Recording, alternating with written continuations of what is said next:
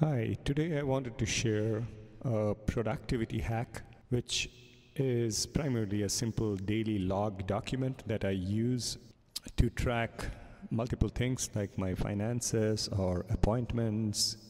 Although I use smartphone calendar for appointments, but you can still use it for to-do lists or reminders and notes.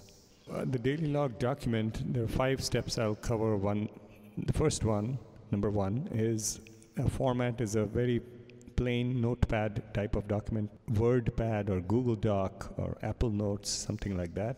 I don't use any fancy app which would use a lot of memory or storage. Primarily, I use a Google Doc, but it could be any other of these simple documents. And I also save it on the cloud uh, as in Google Doc so that it can be used on your phone or on your laptop or tablet. So that's the number one. Number two is I create a list of annual tasks, monthly tasks, primarily these two, and there could be some weekly or daily, but a set of annual tasks at the top of the document. Now, this document, copy and use it as a template for every year. So I would have one document for 2024, one document for 2025, so on. At the top, I have the annual tasks. So I create a list, a bullet list, or a checklist.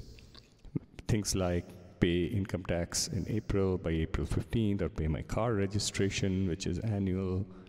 And then monthly, I have a list which is copied over all the months. So January, February, March, April, so on till December. It's a set of tasks like pay the mortgage, pay my home electricity, pay the mobile cell phone bill, pay insurance, whatever those are.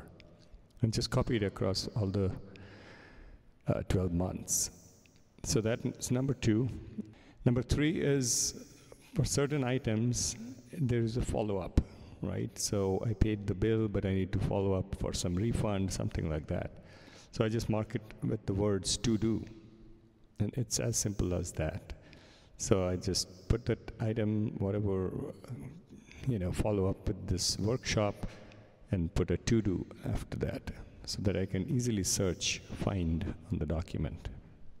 Number four is I update that log pretty much every day, and usually a couple of times a day is good because it just takes five minutes max. Just open the doc in whatever format you have.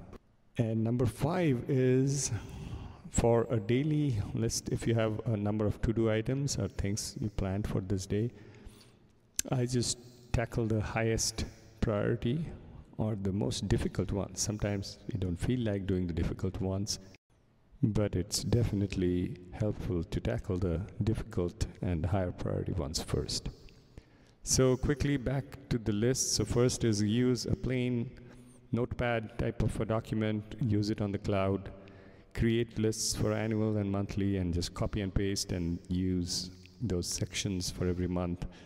Then for every day, add notes there.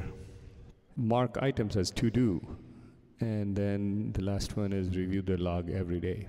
All right, thanks a lot. Hope this helps. Bye.